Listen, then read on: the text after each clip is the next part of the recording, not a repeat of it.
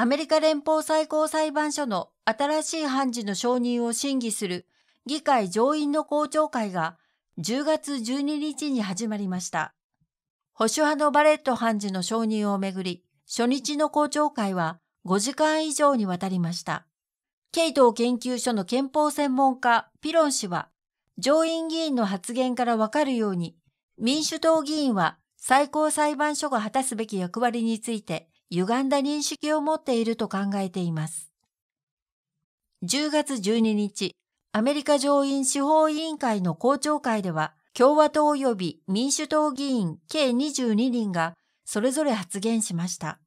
憲法と最高裁が果たすべき役割をめぐって、両者の見解は大きく異なっています。The Democrats are treating the court as just one more political branch of government where they turn when they can't get what they want through the political branches and they ask the court to give them what they want. And that runs absolutely contrary to what our system of government is all about. 法律の専門家は、民主党は公聴会を来月に控えている選挙のための宣伝の場として利用していると指摘します。They're trying to communicate to the American voter that she will take away their health insurance, and that is absolutely false. They are seizing on this fear in order to influence people as they vote over the next couple of weeks.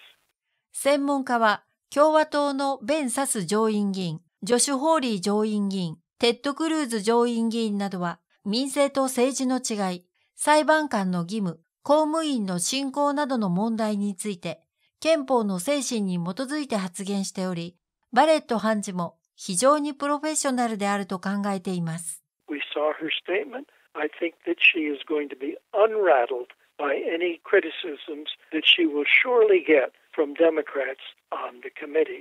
NTD ジャパンがお伝えしました。